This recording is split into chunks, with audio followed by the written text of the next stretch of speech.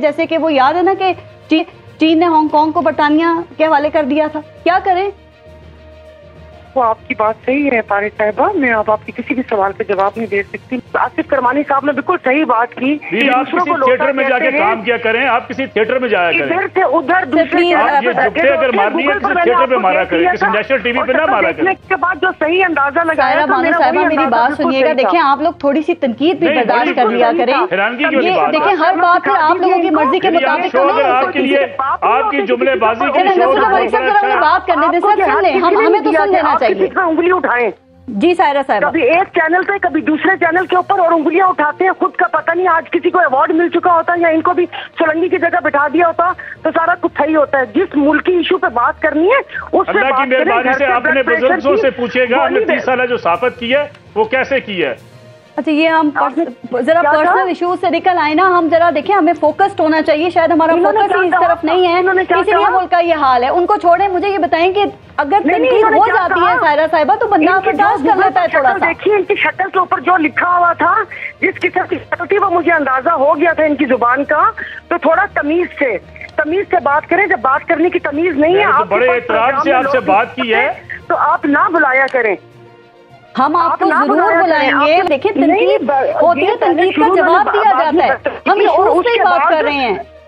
उसके बाद ये यहाँ पर आके कि 2018 से पहले देखा नहीं था नहीं था वो नहीं था मैंने आपको बोला कि देखें आप आपने क्यों ये बात की कि मैं नहीं जानती कौन है? देखें जब हमने सारे गेस्ट बुलाए हैं तो सारे हमारे लिए इतने रिस्पेक्टेबल है ना वो सीनियर सहाफी और तज्जियाकार हैं। उनका नाम है मीडिया में। हमें भी तो एकदम हाँ, तो किसी को इस तरह से लेबल नहीं तो करना चाहिए ना ये चीज़ ठीक नहीं है। लेना था तो आपने ये वो करना था कि सारे जिम्मेदार क्या इनको नहीं पता कि जिम्मेदार कौन है?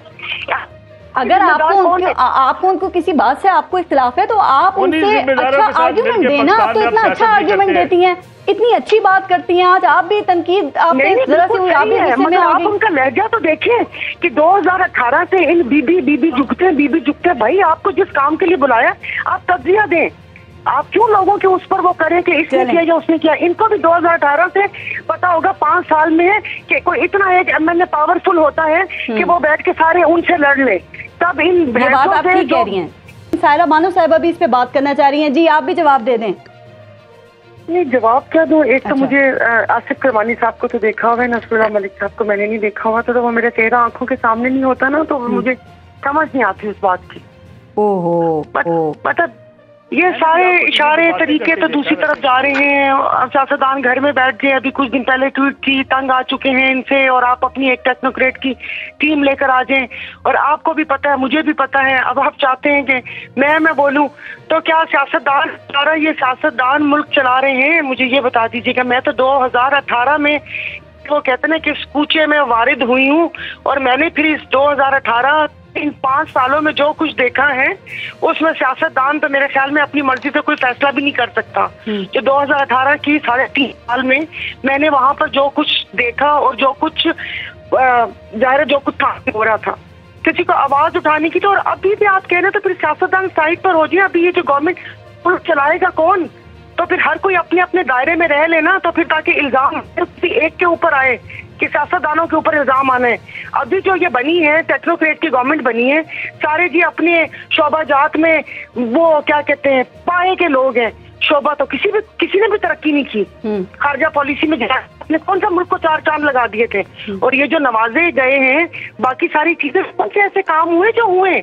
उंगली उठाना किसी के ऊपर बहुत तो से होता है। बड़ी तारीफें सोलह। महीने की जो मैं बात कर रही थी वो सोलह Competent ये लोग कि ये अपनी पॉलिसीज़ को सही करते अपनी पॉलिसी पहले आके नैब ईवीएम और ओवरसीज काम ना करते। हम्म। आके ये ना वो करते कि अपने दौरे करने में लगे हुए हैं और मुल्क का यहाँ पर पता ही नहीं है। और आखिर में आपके हाथ बंधे हुए हैं और आपने सदर के इख्तियार कम करने करके इलेक्शन कमीशन को अख्तियार दे दिए और उसके बाद निगरान वज़ीर आज़म के अख्तियार बढ़ा दिए। ठीक है। अच्छा तो मैं जरा एक ब्रेक ले तो लूँ लेकिन आप आम आप तनकीद करती हैं हैं